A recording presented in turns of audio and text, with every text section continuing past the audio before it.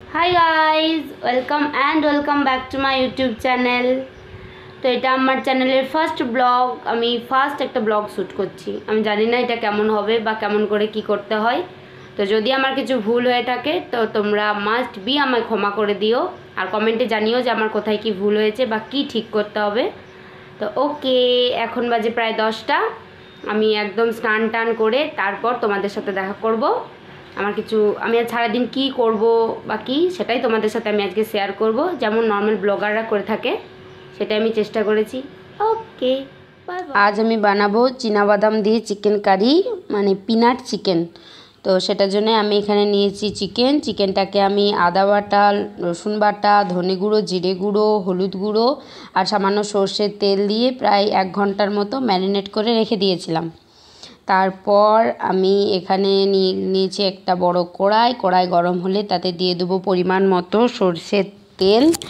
সর্ষের তেল আমি এখানে প্রায় একশো গ্রামের মতো সর্ষের তেল দিয়েছি, কারণ আমার এক কেজি চিকেন আছে।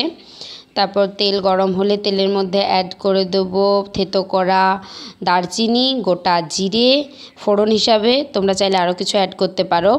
তারপর এটাতে দিয়ে দেবো দুটো ফাটানো কাঁচা লঙ্কা। আর দিয়ে দেবো সামান্য পরিমাণ চিনি। এরপর চিনিটা তেলের মধ্যে মেল্ট হয়ে যাবে হয়ে যাওয়া পর্যন্ত অপেক্ষা করব, আর ফোড়নগুলো একটু ভেজে নেব। তার যতক্ষণ না ফোড়ন থেকে ভালো গন্ধ বেরোচ্ছে, ততক্ষণ তোমাকে ফোড়নগুলো ভাজতে হবে। তারপর এটার মধ্যে অ্যাড করে দেব কুচনো পেঁয়াজ। আমি এখানে দুটো মিডিয়াম সাইজের কুচনো পেঁয়াজ নিয়েছি। তো পেঁয়াজগুলো অ্যাড করে দেবো। পেঁয়াজটা অ্যাড করার পর পেঁয়াজটা ভালো রকম ভাজতে হবে।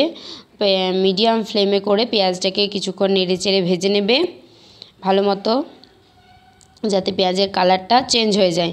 দেখো পেঁয়াজের কালারটা খানিকটা এরকম চলে আসবে। ততক্ষণ পর্যন্ত পেঁয়াজটা ভাজতে হবে। পেঁয়াজ ভালো মতো ভাজা হয়ে গেলে এটাতে অ্যাড করে দেবো এক চামচ আদা বাটা আর দেবো এক চামচের মতো রসুন বাটা। আমি এক চামচ করে দিচ্ছি কারণ আমি কিছুটা আদা বাটা, রসুন বাটা দিয়ে চিকেনটা ম্যারিনেট করে রেখেছিলাম। তোমরা তোমাদের পরিমাণ বুঝে তারপর মশলা অ্যাড করো। এরপর আদা বাটা, রসুন বাটা দিয়ে ভালো মতো ভেজে নিতে হবে, কষিয়ে নিতে হবে যাতে আদা বাটা, রসুন বাটার কাঁচা গন্ধটা চলে যায়। ততক্ষণ পর্যন্ত তোমাকে এই পেঁয়াজ, আদা, রসুনটা ভাজতে হবে। তারপর আমি আচ্ছা আমি এখানে দেখাতে ভুলে গেছি, এটাতে আমি দিয়েছি কিছুটা কাশ্মীরি লঙ্কার গুঁড়ো, তারপরে আমি দিয়ে দেব চিকেনটা। চিকেনটা দিয়ে ভালো মতো তোমাকে কিছুক্ষণ কষিয়ে নিতে হবে, যাতে চিকেনের মধ্যে যে মশলাগুলো আছে, সেগুলো সম্পূর্ণভাবে ভালো ভাজা হয়ে যায়, আর চিকেনটাও খানিকটা যাতে কুক হয়ে যায়। ততক্ষণ পর্যন্ত চিকেনটা তোমাকে নেড়ে চেড়ে ভালো মতো ভাজতে হবে। আর চিকেনটা অবশ্যই তুমি হাই হিটেই ভাজবে, নইলে চিকেন থেকে জল বেরোতে শুরু করে দেবে। চিকেন ভালো মতো কিছুক্ষণ কষানো হয়ে গেলে এর মধ্যে দিয়ে দেবো আমি পরিমাণ মতো নুন। নুন দেওয়ার সাথে সাথেই দেখো চিকেন থেকে অনেকটাই জল বেরোতে শুরু করে দিয়েছে। আর মশলাটাও ভালো মতো কুক হয়ে গেছে, কারণ বাইরে মশলার চারপাশে তেল ছাড়তে শুরু করেছে। এরপর আমি অ্যাড করে দেবো এখানে বাদাম, টমেটো আর কাঁচা লঙ্কার পেস্ট যেটা আমি আগেই করে রেখেছিলাম। বাদামটা দিয়ে চিকেনের সাথে ভালো মতো মিশিয়ে নিতে হবে আর কিছুক্ষণ এটা আরও একটু কিছুক্ষণ কষিয়ে নিতে হবে। মাংস ভালো মতো কষানো হয়ে গেলে এখানে আমি অ্যাড করে দেবো সামান্য জল। তোমরা চাইলে নাও অ্যাড করতে পারো। আর তারপর আমি এটাকে ঢাকা দিয়ে পাঁচ মিনিটের মতো জাস্ট সেদ্ধ হতে দেব। কারণ মাংস আমার অলরেডি প্রায় হাফের থেকে বেশি কুক হয়ে গেছিল। এখানে দেখতেই পাচ্ছ মাংস পুরোপুরি সেদ্ধ হয়ে গেছে। তারপর আমি অ্যাড করে দিচ্ছি এখানে পরিমাণ মতো গরম মশলা, ঘি অ্যান্ড লাস্টলি আমি অ্যাড করে দেব কিছুটা কাসুরি মেথি হাতে ঘষে। দ্যাটস ইট এই ছিল পিনাট চিকেনের রেসিপি তোমরা চাইলে বাড়িতে ট্রাই করতে পারো।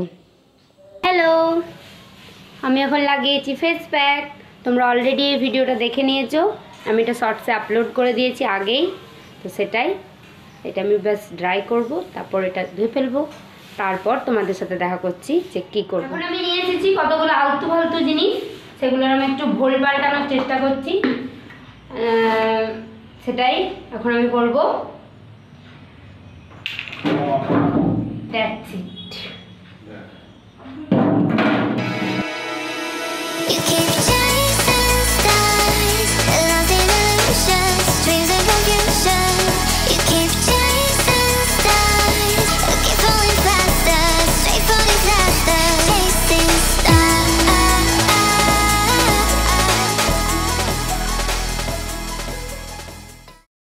তোমরা আমি একটু সাজেস্ট করো তো এটা থেকে ঠিক কী করা যায় এটাকে? রং তো আমি করে দিচ্ছি এটা। তারপর আমি এটা দিয়ে কি বানাবো বা কি কি রাখা যায়, আমাকে একটু কমেন্টে জানিও।